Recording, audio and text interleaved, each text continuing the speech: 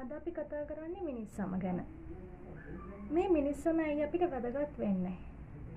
අපි දන්නවා අපි සත්කාරයක් කරනකොට අපි මිනිස් සමට හිස කෙස් වලට නිය සම්බන්ධව තමයි මේ අපි සත්කාර කටයුතු කරන්න. එතකොට මෙතනදී අපිට ප්‍රායෝගික දැනුම විතරක් ප්‍රමාණවත් මදි. අපිට න්‍යායාත්මක දැනුමත් මෙහිදී අත්‍යවශ්‍යයි. මොකද අපි සමය ව්‍යූහය පිළිබඳ මනා දැනුමක් අපිට තිබුණේ නැත්තම්. අපිට රූපලාවන්‍ය ශිල්පිනියෝ විදිහට පුහුණු වන ශිල්පිනියෝ විදිහට සමාජගත වනකොට මේ පිළිබඳව අනිවාර්යයෙන්ම හොඳ දැනුමක් තියෙන්න ඕනේ. මොකද අපි ෆේෂල් එකක් ගැන කතා කරමු ෆේෂල් එකක් කරන්න යනකොට අපි මේ අපිට ප්‍රායෝගික දැනුම තියෙනවා. ප්‍රායෝගික දැනුම තිබුණට මදි මෙතනදී අපිට න්‍යායාත්මකව හරි දැනුමක් තිබුණේ නැත්නම් ඒ ක්‍රියාකාරකම මම හිතනවා සාර්ථකව අපිට කරගන්න බැහැ කියලා. ඒක හින්දා තමයි අපි හිසකැස් වල නියවල සහ සමහි ව්‍යුහයන් ගැන හරියටම දැනගන්න ඕනේ. අද මම මිනිස් සම ගැන කතා කරනකොට කොටස් 6ක් යටතේ මාර්තුකා 6ක් යටතේ ඔයගොල්ලොත් එක්ක කතා කරන්න ලෑස්ති වෙලා හොඳයි. ඒ කොටස් ඒ කොටස් 6 තමයි සම කියන්නේ මොකක්ද?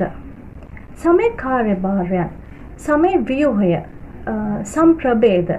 එතකොට සම්ප්‍රභේදවල ලක්ෂණ, සමේ රෝග. ඔන්න ඔය මාතෘකා හය පිළිබඳ මේ පාඩමට අදාළව මම කතා කරන්න අද සූදානම් වෙලා ඉන්නවා.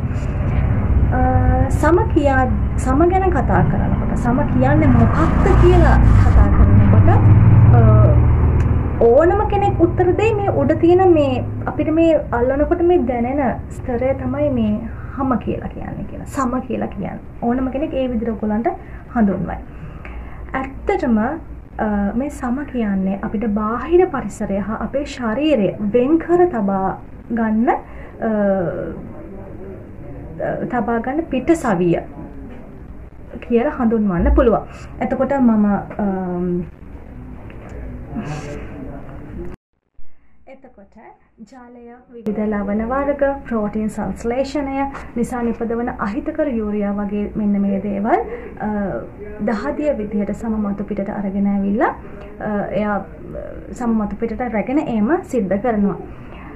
එතකොට මේ සම සංවේදන ඉන්ද්‍රියක් විදිහටත් කටයුතු කරනවා. සංවේදන ඉන්ද්‍රියක් කියලා කියන්නේ මොකක්ද? දැන් ඔයාට කෙනෙක් ඇවිල්ලා ගහනවා. එහෙම නැත්තම් කොනිටනවා. සූරනවා.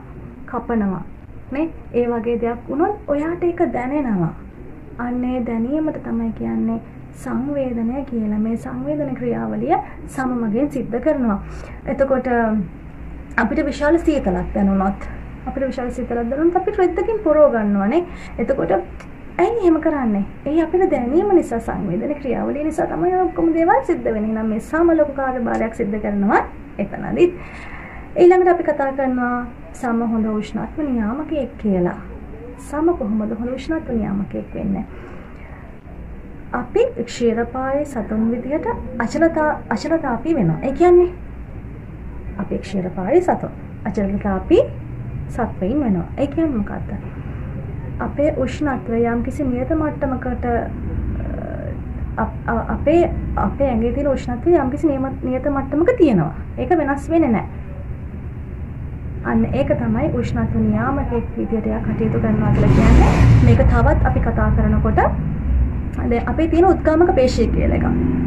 ඔන්න උද්ගාමක පේශිය අපිට මේ අපි කියමුකෝ අපිට ගොඩාක් සීතලක් දැනෙනවා කියලා. ඒ සීතලක් දැනෙනවා මේ උද්ගාමක පේශිය අංශක 90කට හැකිලෙනවා.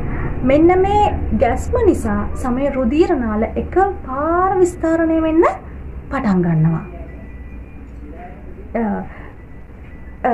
විස්ථාරණය වීම තුළ තමයි මේ මතුපිට උෂ්ණත්වය රැකගන්න උදව් කරන්න. සමය මතුපිට උෂ්ණත්වය රැකගන්න උදව් කරන්න. මේ අපි මයිල් කෙලින් වෙනවා කියලා කියනවානේ. මයිල් කෙලින් වෙනවා කියලා කියන්නේ මොකද මේ රෝමකූප ඍජු වීම තුළින් මොකද සිද්ධ වෙන්නේ? ඒ රෝමකූප අතර උණුසුම් වායු ධාරාවක් රඳවා ගන්න මෙන්න මේ නිසා සම හොඳ උෂ්ණත්ව නියාමකයෙක් විදිහට කටයුතු කරනවා කියලා අපි කියනවා. අද ඔබල මාත් එක්ක මේ රූප ස්ථාන ඇඳ. අපි චර්මයට යටින් පිහිටලා තියෙන චර්මය. ඒ කියන්නේ මේ බලන්න සමය මතු පිළ කොටසට අපි කියන අපි චර්මය කියලා. ඊළඟට ඊට පල්ලෙහෙන් තියෙන ලේයර් එකට අපි කියනවා චර්මය කියලා. එතකොට මේක තමයි මේ රූප සටහනත් එක්ක අපි කතා කරොත් සැබෑ සම. සමය සැබෑ සම කියලා කියන්නේ චර්මයට. එතකොට මේක තමයි සංවේදක ග්‍රන්ථි අවයව තන්තු වර්ග රුධිර නාල මේ හැම දෙයක්ම පිහිටලා තියෙන්නේ මේ චර්මය තුල. මේ බලන්න මේ රුධිර නාල මම දක්වලා තියෙනවා. එතකොට මෙතනදී අපිට අපි චර්මය හරහා චර්මයට තුවාලයක් සිද්ධ වුණොත් රුධිරය ගලාගෙන ඒමක් අපිට දක්නට ලැබෙනවා. මොකද මේ රුධිර නාල පිහිටලා තියෙන්නේ මේ චර්මයේ නිසා. එතකොට මේ චර්මය අපි හඳුන්වනවා ඩර්මිස් කියලා. ඩර්මිස් කියලා අපි චර්මය හඳුන්නනවා මේ යටම කොටස. බල යටම කොටසම ගන්න. අදස් චර්මය. මේක තමයි අදශර්මය ඒකට අපි කෙනවා සබ් කියටනස් තෙල් තට්ටුව කියලා. ඒ කියන්නේ මේක තමයි මේද සයිල අඩංගු වෙලා තියෙන්නේ. මේද අපේ ගන්නා හාරවල් වල මේදය තැම්පත් වෙන්නේ මෙන්න මේ සබ් කියටනස් තට්ටුවේ.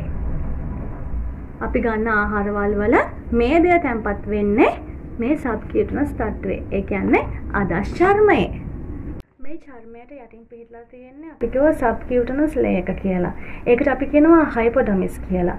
එතකොට මේ ලේයකට තව කියන අපි ෆැට් ලේයර්, ඔයිල් ලේයර් කියලාත් අපි හඳුන්වනවා.